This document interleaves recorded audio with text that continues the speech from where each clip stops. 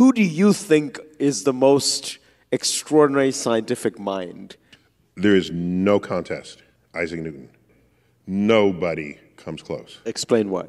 Working alone, discovers the laws of motion. Then he discovers the law of gravity. Why do your planets orbit in this shape, ellipses, ovals, rather than perfect circle? It's, I don't know. I, I'll get back to you.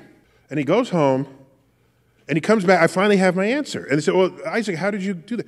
Well, I had to invent integral and differential calculus to answer that question.